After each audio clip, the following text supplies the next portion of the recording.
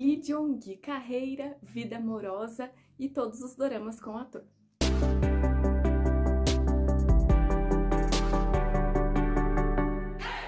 Fala Dorameiros, tudo bem com vocês? Eu sou a Gesiela e este é o canal Doramas. Sejam muito bem-vindos ao meu canal. No vídeo de hoje eu quero trazer para vocês um pouco mais sobre a vida do galã dos doramas Lee Jong-gi. Você vai saber todos os doramas com o ator, a vida amorosa, curiosidades, muita coisa bacana. Mas antes de mais nada, eu quero convidar você que está chegando aqui pela primeira vez no meu vídeo. Se você ainda não está inscrito, se inscreve aqui no canal para você ficar por dentro da vida dos astros, dos doramas, das notícias, tudo que rola na Dormeland. Lee Jung-gi nasceu em Busan no dia 17 de abril de 1982. Ele estudou na Instituição de Artes de Seul ele se interessou por atuação quando era estudante do ensino médio, depois de assistir a uma apresentação de Hamlet. Ele se mudou para Seul com o sonho de trabalhar na indústria de entretenimento, ao invés de entrar para uma universidade. Nos anos seguintes, ele trabalhou em diversos empregos de meio período antes de ser aceito no Instituto de Artes de Seul.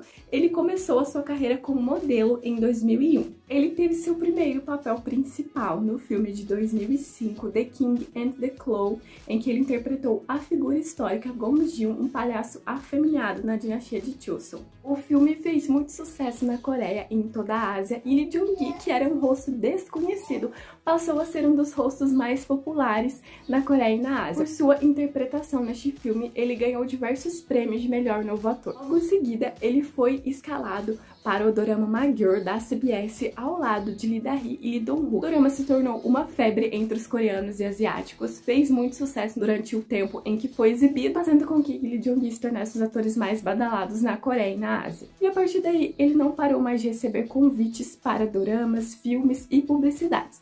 Vamos ver a seguir todos os filmes e doramas com Lee Jong-gi.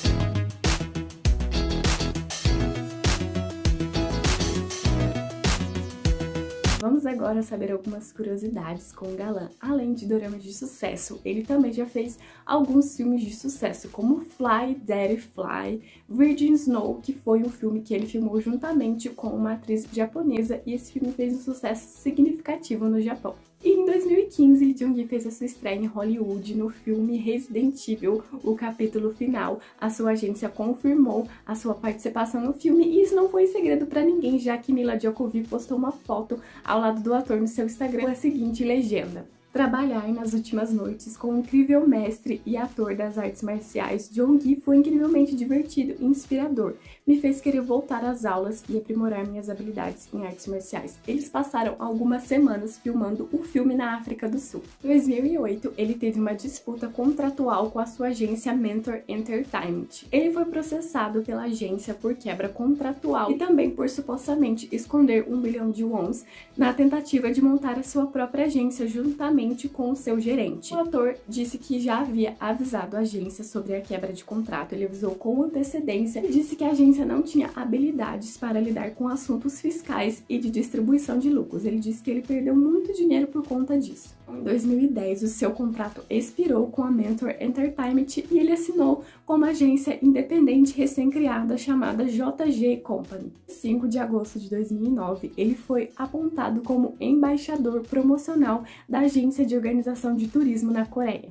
No dia 3 de maio de 2010, ele iniciou seus serviços militares obrigatórios e após cumprir 21 semanas de serviço, ele foi dispensado no dia 16 de fevereiro de 2012. Lee Jung-gi tem lutado para mudar sua imagem de galã, de flower boy, garoto de boa aparência, bonito.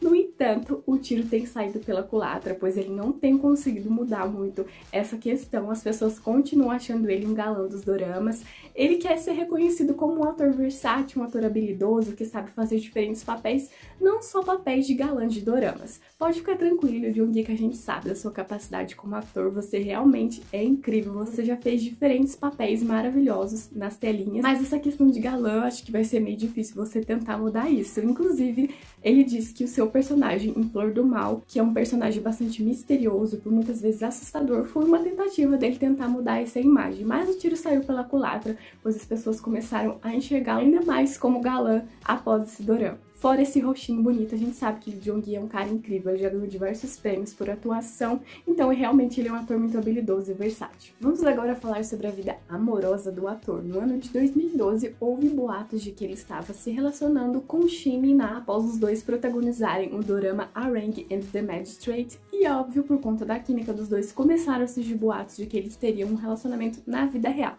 No entanto, foi desmentido. Logo depois, Shin Min-na começou a namorar Kim Obi, e o relacionamento dos dois já tem bastante tempo. Houve boatos de que ele estaria namorando a estrela de Ghost Doctor, o E. Tanto em uma entrevista a um programa de variedades, ele disse que não teve tempo de ir ao encontro com ela e que eles não estavam em um relacionamento amoroso. Park Myung também é uma das supostas namoradas de Lee Jong-gi. Houve diversos boatos de que os dois estariam juntos, eles eram sempre vistos juntos. Tanto logo após surgir os boatos de que eles estariam juntos, ele confirmou o seu namoro com a também atriz Jeon Hae-bin, então todos os boatos com Park Myung foram desmentidos. John Haibin e Lee Jong se conheceram em 2014 e começaram a namorar em 2016. A atriz fez uma declaração sobre como iniciou o namoro dos dois em um programa de variedades. Ela disse o seguinte: Na verdade, sou uma juvenil e corajosa. Eu não pensei que ficaríamos bem juntos, não fazia ideia de que seria assim, já que éramos amigos há tanto tempo. No começo, ele cuidou de mim como veterano, já que ele tem bastante tempo na indústria de atuação, achei que era educado no começo, mas quanto mais o conhecia, mais percebi que ele era uma boa pessoa. Em algum momento, ele começou a deixar muitos comentários nas minhas redes sociais nós, naturalmente, desenvolvemos um relacionamento amoroso. Infelizmente, os dois se separaram no ano de 2017 e atualmente Lee Jong-gi está solteiro. Me fala aí, gente, se tem mais alguma curiosidade sobre Lee Jong-gi que eu não mencionei aqui, deixa aqui nos comentários para mim se vocês gostaram de saber um pouco mais sobre a vida do ator eu vou ficando por aqui e a gente se vê no meu próximo vídeo. Tchau, tchau!